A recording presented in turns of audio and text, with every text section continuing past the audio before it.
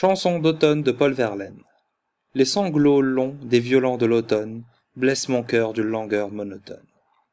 Tout suffocant et blême quand sonne l'heure je me souviens des jours anciens et je pleure. Je m'en vais au vent mauvais qui m'emporte de ça de là pareil à la feuille morte.